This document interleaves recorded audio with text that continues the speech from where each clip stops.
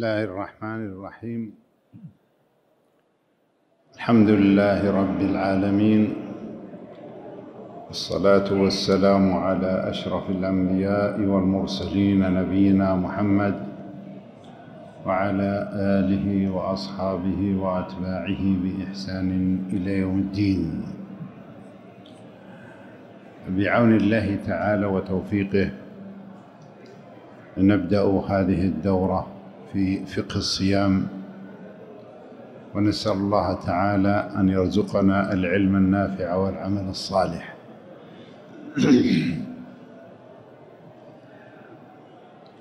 الصيام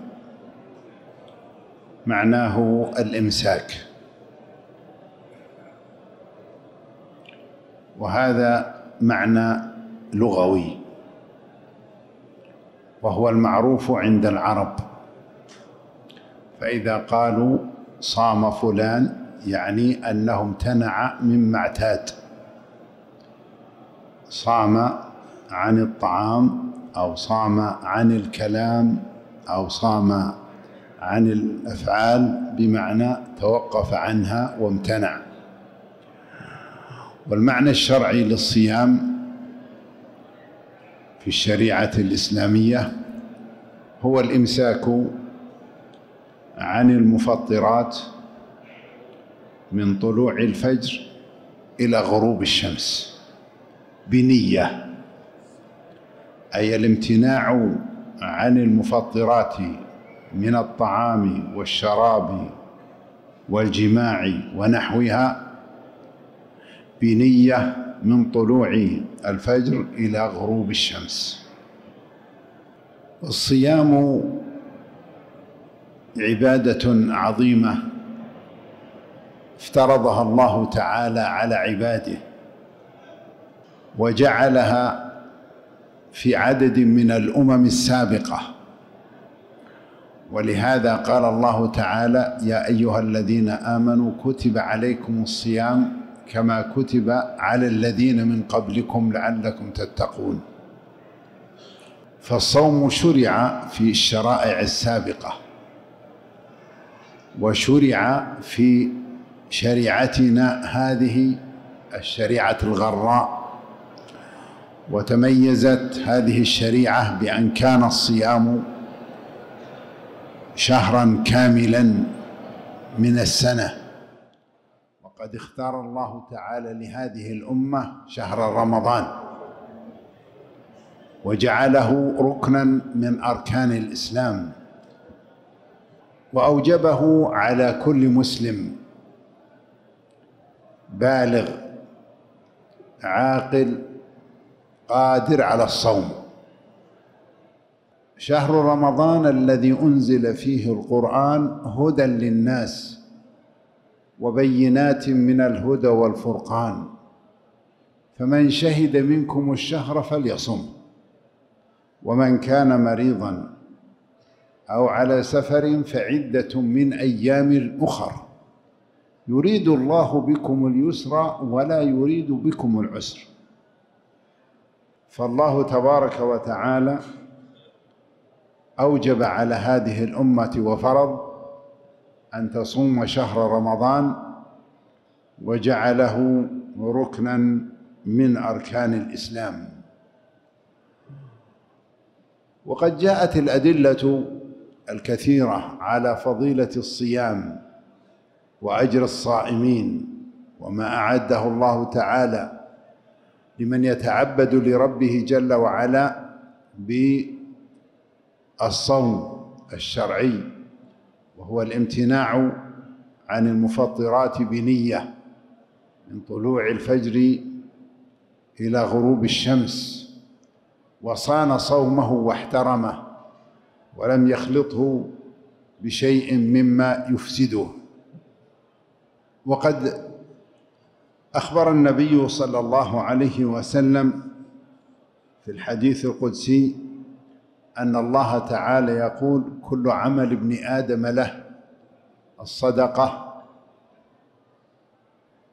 الحسنة بعشر أمثالها إلا الصوم فإنه لي وأنا أجزي به. يدع طعامه وشرابه وشهوته من أجلي. فالله تعالى يجزي على الصوم بلا عد ولا حد. وهذا دليل على عظم شأن هذا الصوم لأنه عبادة سرية. إذا أخلص الإنسان فيها فلا يدرك إخلاصه إلا الله جل وعلا ولا مجال فيها للرياء. فإن الأعمال الأخرى من صلاة وحج وزكاة يراها الناس.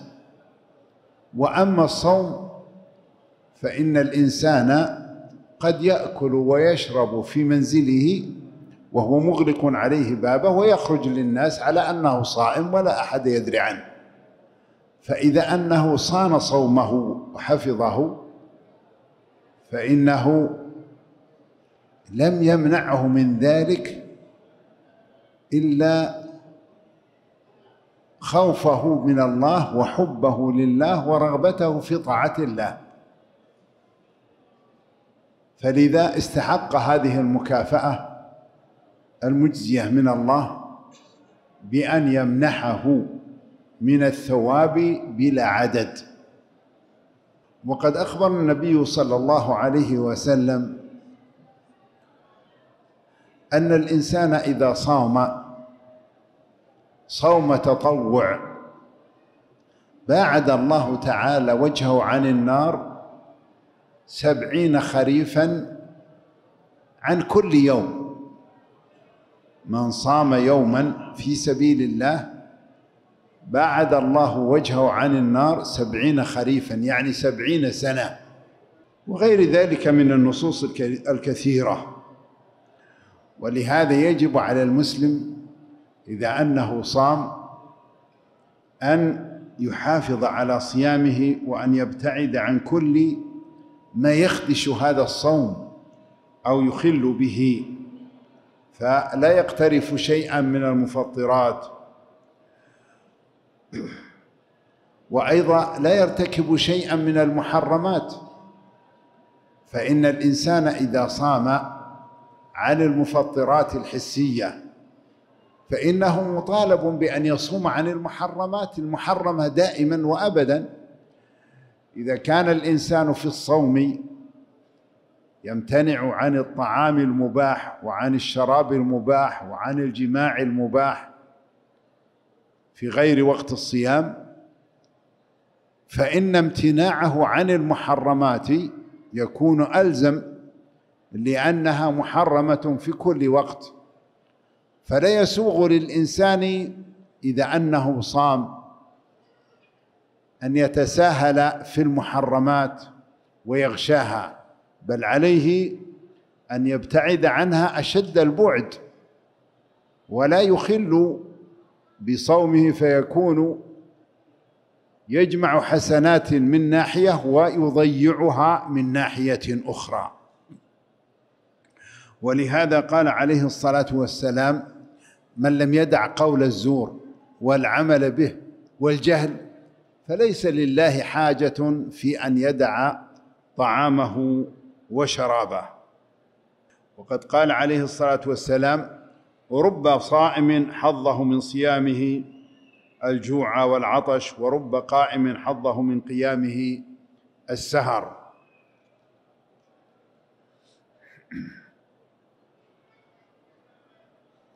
ولهذا ينبغي للإنسان أن يحذر من الكذب ومن الغيبة ومن النميمة ومن السباب ومن ضياع الوقت فيما لا فائدة فيه.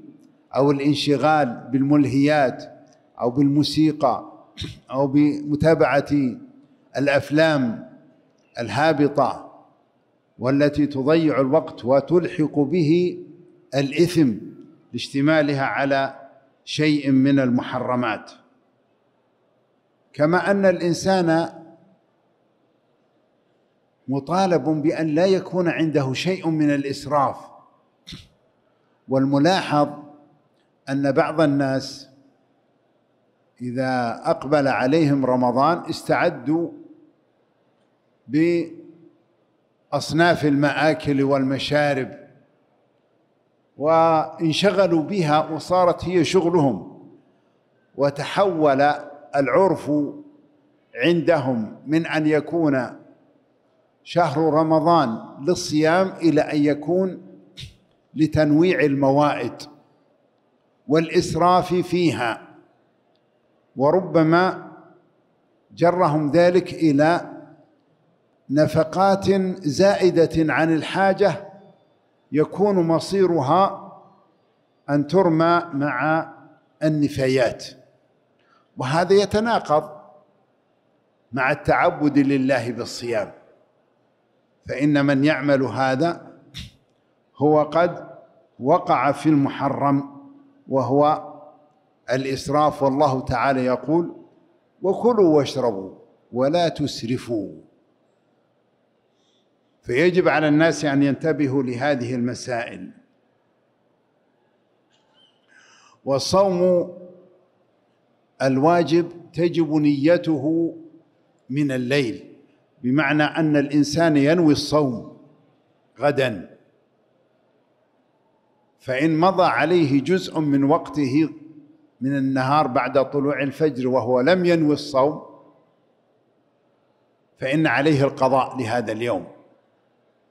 لأن من شرط الصوم الواجب النية وهذا يشمل صيام شهر رمضان وصيام الكفارات والنذور. فإن كل صوم واجب لا بد له من نية من الليل. وأما صوم التطوع فلا حرج أن الإنسان ينويه بعد طلوع الفجر.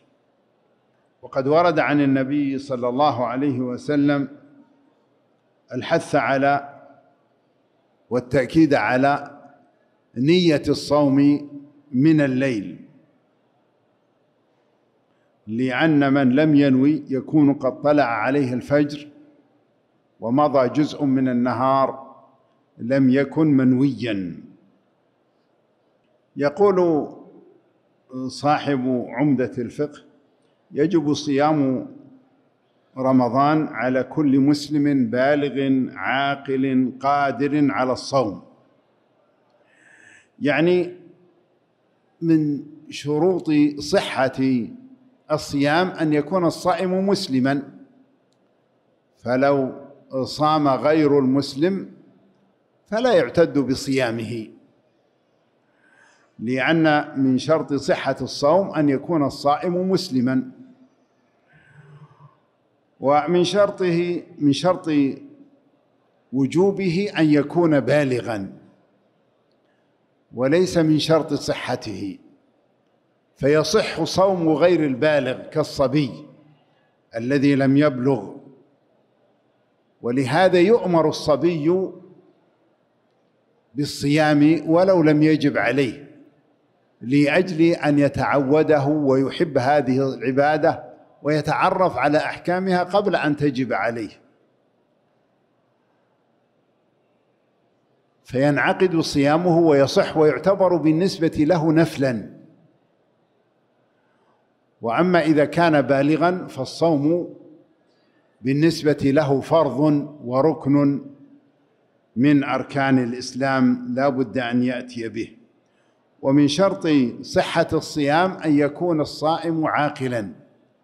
فلو كان الإنسان مجنونا فصومه غير صحيح. ويجب الصوم على القادر على الصوم. وأما الذي لا يقدر على الصوم لكبره أو أو مرضه المرض المزمن فإنه لا يجب عليه الصوم. وإنما يطعم عن كل يوم مسكينا. وقد جاء تفسير قوله تعالى وعلى الذين يطيقونه فدية طعام مسكين على أنها نسخت في حق الإنسان السليم وبقيت في حق الإنسان العاجز عن الصوم. قال ويؤمر به الصبي إذا أطاقه ينبغي لوليه أن يأمره على ويحثه على أن يصوم وهو غير واجب عليه لكن لأجل أن يعرفه ويعرف أحكامه ويتعود عليه فإذا بلغ لا يكون عليه شاقا. ثم قال يجب صوم رمضان بأحد ثلاثة أشياء. كمال شعبان أي تمام شعبان ثلاثين يوما. لعموم قول النبي صلى الله عليه وسلم صوموا لرؤيته وأفطروا لرؤيته فإن غم عليكم فأكملوا عدة شعبان ثلاثين يوما. فإذا أن الناس أكملوا شعبان ثلاثين يوما فيصومون ولو لم يروا الهلال. لكن لابد أن يكونوا قد رأوا هلال شعبان وتأكدوا من دخول شعبان في هذا اليوم. فإذا كملوا ثلاثين يوما من رؤيتهم لشعبان فإنهم حينئذ يصومون شهر رمضان. والأمر الثاني الذي هو من أسباب الصيام قال رؤية هلال رمضان. لهذا الحديث في قوله عليه الصلاة والسلام صوموا لرؤيته. فإن الناس يتراعون الهلال ليلة التاسع والعش ليلة الثلاثين من شهر شعبان. إذا بقوا في شعبان تسعة وعشرين يوما فإنهم يتحرون بعد غروب الشمس من يوم التاسع والعشرين ليلة الثلاثين يتحرون الهلال. فإذا رأوا هلال رمضان صاموا. والأمر الثالث قال المؤلف ووجود غيم أو قتر ليلة الثلاثين يحول دونه. وهذا القول قول مرجوح عند أهل العلم لأنهم فهموا أن الحديث الوارد في قوله فاقدروا له ضيقوا عليه. وإن كان هذا وارد في لغة العرب لكن الأحاديث الأخرى توضح ذلك بالألفاظ والروايات التي جاءت في قوله عليه الصلاة والسلام فأكملوا عدة شعبان ثلاثين يوما. فجماهير أهل العلم على أنه لا يصام يوم الثلاثين إلا إذا رؤي الهلال وإذا لم يرى الهلال فلا يجوز صومه لأنه هو يوم الشك. وقد نهى النبي صلى الله عليه وسلم عن صوم اليوم الذي يشك فيه. وقال عليه الصلاة والسلام من صام اليوم الذي يشك فيه فقد عصى أبا القاسم عليه الصلاة والسلام. وقال عليه الصلاة والسلام لا تقدموا رمضان بصوم يوم أو يومين إلا رجل كان يصوم صوما فليصم. فليس للإنسان أن يدع الصيام في شعبان احتياطا لرمضان. وإنما في ليل يوم الثلاثين من شعبان لا يجوز صيامه إلا إذا رؤي الهلال فصار من رمضان. ولا يصام احتياطا لرمضان وهذا هو الصواب إن شاء الله. ثم ذكر المؤلف رحمه الله مسألة قال إذا رأى الهلال وحده صام. يعني لو أن إنسانا رأى بنفسه هلال شهر رمضان فيلزمه الصوم هو بنفسه ولو أنه ردت شهادته. فلو كان هذا الإنسان ليس بثقة ولا عدل وذهب لإثبات شهادته عند القضاء فلم يقبلوه لأنه عليه ملاحظات في تصرفاته وتساهله في بعض الأمور. فهو في هذه الحال لا يأخذ الناس بقوله ولا يقبلون رؤيته لأنه فاسق عندهم. لكن هو بنفسه تيقن مئة بالمئة بأن غدا من رمضان فيلزمه أن يصوم ذلك اليوم. وأما إذا كان الإنسان رأى هلال شهر رمضان وهو إنسان عدل معروف بالعدالة. فإنه يقبل قوله ويصوم الناس برؤيته.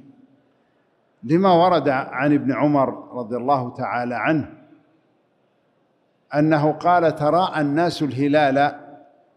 فأخبرت رسول الله صلى الله عليه وسلم أني رأيته. فصام النبي عليه الصلاة والسلام وأمر الناس بصيامه. بناء على رؤية ابن عمر وحده. وهذا دليل على قبول خبر الفرد الواحد في إثبات دخول شهر رمضان. واما الإفطار من رمضان في هلال شوال فلا يقبل إلا شهادة رجلين عدلين. لا بد من اثنين من الرجال العدول. ولما روى عبد الرحمن بن زيد بن الخطاب عن أصحاب النبي صلى الله عليه وسلم أنه قال فإن شهد شاهدان فصوموا وأفطروا. فالفطر لا يكون إلا باثنين. وأما الصيام فجاء حديث ابن عمر يدل على جواز الصيام وصحته برؤية واحد. من المسلمين العدول. ثم ذكر مسألة قال لو أن الإنسان رأى هلال شوال وحده وردت شهادته لعدم وجود شخص آخر يشهد معه فهل له أن يفطر أم لا؟ الجواب لا ليس له أن يفطر بل يبقى صائما مع الناس. ولو أنه رأى أن الهلال بنفسه فلا يحل له حينئذ. لما ورد عن عمر رضي الله تعالى عنه أنه قال ليتقي أحدكم أن يصوم يوما من شعبان أو يفطر يوما من رمضان. قال وأن يتقدم قبل الناس فليفطر إذا أفطر الناس فلا يفطر وحده لأنه يكون قد أكل في نهار رمضان ورؤيته لا تقبل حينئذ لعدم وجود من يعضده في الإفطار وهو باق بعبادة متلبس بها فلا يتركها ويتخلى عنها وهي لم تثبت. شرعا. ثم ذكر مسألة وقال إن صاموا بشهادة اثنين. ثلاثين يوما أفطروا لحديث عبد الرحمن بن زيد الذي مر بنا قبل قليل. فإذا أن الناس رأوا هلال شهر رمضان برؤية شاهدين اثنين ف كملوا رمضان ثلاثين يوما فإنهم يفطرون. ولا يحتاج إلى تراءي الهلال لأنه دخل عليهم الشهر بيقين برؤية رجلين عدلين وكملوا ثلاثين يوم والشهر لا يزيد عن الثلاثين. وقد أكملوا الثلاثين فيفطرون حينئذ لتيقنهم كمال شهر رمضان. وأما إذا ابتدأوا صيام شهر رمضان برؤية واحد فهل يفطرون؟ أيضا. ذهب بعض أهل العلم ومنهم بعض علماء المذهب إلى أنهم يكملون ثلاثين لوجود الشك في رؤية الواحد. والقول الآخر وهو الذي عليه جمهور العلماء على أنهم إذا صاموا بشهادة واحد فأكملوا ثلاثين يوما أنهم يفطرون لأن الفطر تابع للصوم ومبني عليه وقد صاموا صوما صحيحا فثبت صومهم بدليل شرعي معتبر فيه. وكملوا صيام ثلاثين يوما والشهر لا يزيد عن الثلاثين فلا تج... فلا يزاد عليه ولا يصام يوم العيد. وهذا هو الذي يرجحه الكثير من أهل العلم. ثم ذكر المؤلف مسألة يقول إذا أن الناس بدأوا صيامهم في شهر رمضان برؤية أو بإتمام شعبان ثلاثين يوما فصاموا رمضان ثم رأوا الهلال بعدما صاموا ثمانية وعشرين يوما. الناس صاموا رمضان ولما صارت ليلة التاسع والعشرين من رمضان رأوا الهلال وهم لم يصوموا إلا ثمانية وعشرين. ففي هذه الحال يلزمهم أن يفطروا لأن غدا يوم عيد ويلزمهم قضاء يوم من رمضان لأنه يتيقن أنهم تركوا اليوم الأول لم يصوموه. ليكملوا رمضان تسعة وعشرين يوما. والشهر تسعة وعشرين أو ثلاثين. ولا ينقص عن تسعة وعشرين ولا يزيد عن الثلاثين. فإذا صاموا ثمانية وعشرين دل ذلك على أنهم في بداية الشهر قد نقصهم يوم فيقضونه بعد يوم العيد ولا يصوموا يوم العيد. وإنما يجب عليهم أن يفطروا لأن يوم العيد يحرم صيامه. بعض المسائل التي تعرض للناس وخاصة في حال السفر إذا سافر رجل من بلد إلى بلد وفي الأخص مثل هذه الأيام التي سهل فيها السفر وبسرعة من بلد إلى بلد في أقصى الدنيا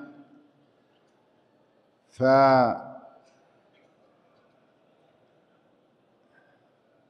لو أنه وجد أن الناس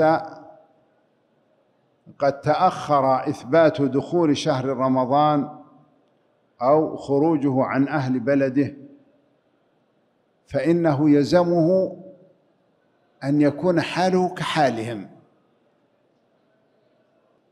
مثال ذلك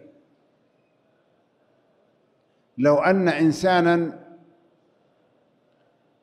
صام هنا وسافر في آخر يوم من رمضان وهو يوم تسعة وعشرين وثبت عندنا أن غدا يوم عيد وهو سافر إلى بلده في المغرب. وأهل المغرب لم يثبت عندهم رؤية هلال شوال فيبقى معهم. ولا يفطر وهم في رمضان لأنه في بلد هو فيه لا يزال رمضان موجود. ما خرج رمضان. بعض أهل العلم قال إذا كان قد صام ثلاثين يوما في البلد الذي كان فيه سابقا فإنه يفطر سرا. وبعضهم قال لا يبقى على ما هو عليه ولا يخالف أهل بلده لأن البلد الذي هو فيه لم يأتي فيه العيد بعد. ولم يحكم بأن اليوم عيد. ثم ذكر بعض العلماء بعض المسائل التي قد تحصل في الظروف الحرجة. كما لو كان إنسان مأسور عند عدو ولا يعرف الأشهر ويخفى عليه حاله ولا يدري هل دخل رمضان أو لم يدخل. ولا يدري هل هو في شهر شعبان أو في شهر رمضان. فإنه يتحرى ويصوم. يصوم بالاجتهاد. وإذا انتهى من صيامه إذا تبين له أنه قد صام بعض الأيام قبل دخول شهر رمضان وإنما هي من شعبان فإنه يقضيها. وأما إذا تبين له أنه صام بعض الأيام من شهر رمضان وبعضها من شهر شوال فصومه صحيح ولا شيء عليه لأن بعضها أداء وبعضها قضاء. أيضا من المسائل التي يسأل عنها في مثل هذه الأيام خاصة في مثل هذه السنة في بعض البلاد التي تكون في شمال الكرة الأرضية حيث يكون الصوم في وقت الصيف يطول عليهم النهار وربما وصل إلى عشرين ساعة. فهؤلاء يلزمهم الصيام ويلزمهم الصيام على هذه الحال من طلوع الفجر إلى غروب الشمس. وليس لهم أن يفطروا في النهار لأن الصيام إنما هو في النهار. لعموم قوله تعالى فكلوا واشربوا وكلوا واشربوا حتى يتبين لكم الخيط الأبيض من الخيط الأسود من الفجر ثم أتموا الصيام إلى الليل. قالوا لو أن الإنسان عرض له عجز شق عليه.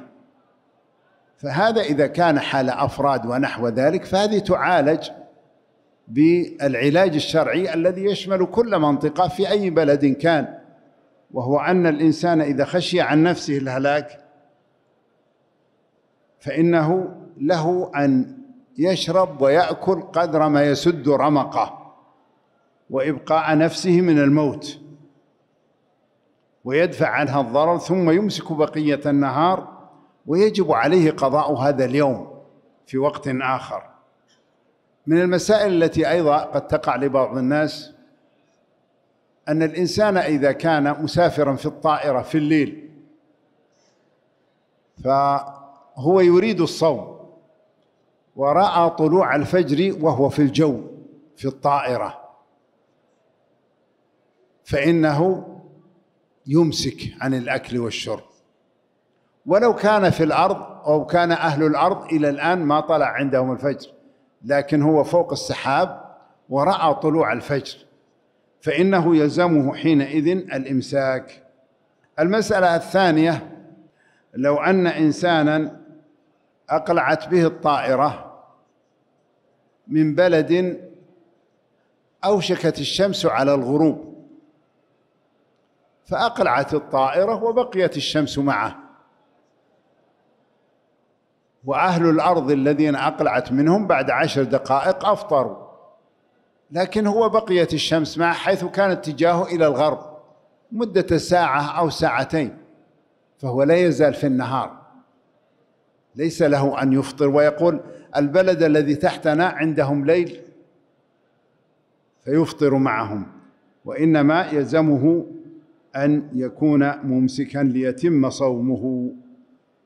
نقف عند هذه المسألة لإتاحة الفرصة لبعض الأسئلة ونسأل الله تعالى أن يرزقنا الفقه في الدين وأن يصلح لنا ديننا ودنيانا وأخرانا وأن يثبتنا بالقول الثابت في الحياة الدنيا وفي الآخرة وأن يغفر لنا ولوالدينا وذرياتنا وأقاربنا والمؤمنين ونسأله جل وعلا أن يعز الإسلام والمسلمين وأن يذل الشرك والمشركين وأن يصلح أحوال المسلمين وأن يصرف عنا وعنهم كل شر وبلاء وفتنة. وصلى الله وسلم وبارك على عبده ورسوله نبينا محمد وعلى آله وصحبه.